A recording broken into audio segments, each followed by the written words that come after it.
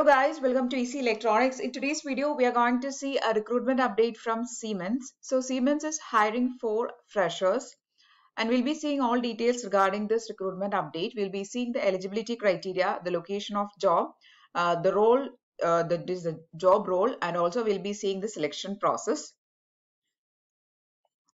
So if you are interested, please do watch this video till the end. Also, if you are seeing the channel for the first time, please do subscribe to the channel and follow us on our Instagram page.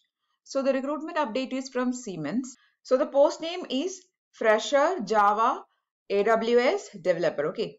So the location of job they have given is Bangalore. Uh, India is a location of job, but we know that because of this COVID situation, all these job updates or all this job will be uh, work from home.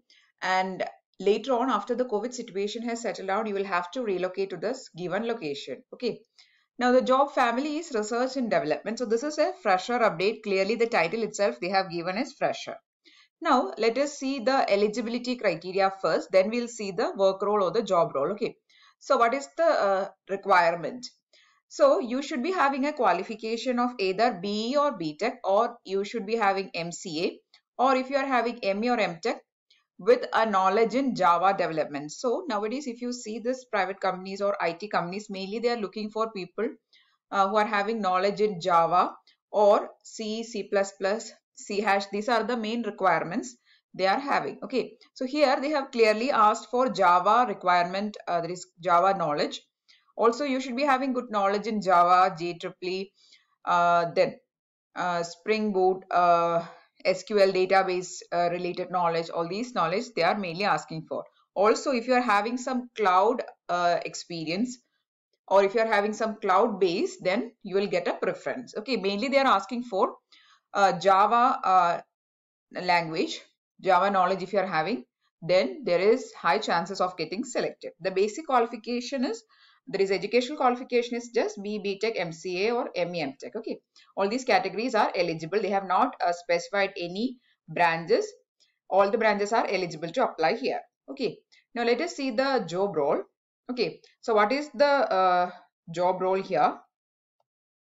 So next, let us see the job role. Here, you will be executing full software creation process, write well-designed testable code. So you'll be basically doing the uh, function of a, a, software developer. You'll be writing codes, testing them. Uh, so that is the nature of job. Okay.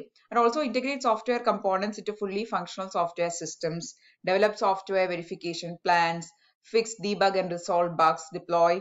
And uh, so these are the main uh, area of work. Okay. So this is a basic uh, job of a software developer. You'll be designing codes, testing them, fixing them. So these are the uh, work roles. Okay, now let us move on to the selection process. So the selection process will be consisting of two to three stages. The first stage will be aptitude test.